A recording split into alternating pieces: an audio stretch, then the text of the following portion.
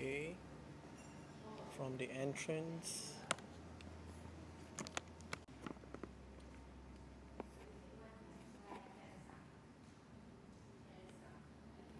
This will be the showcase for uh, photo works photography works.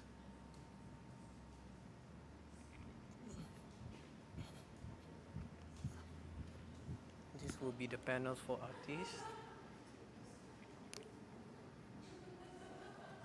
this will be the setup for um, interactive panel and also the projection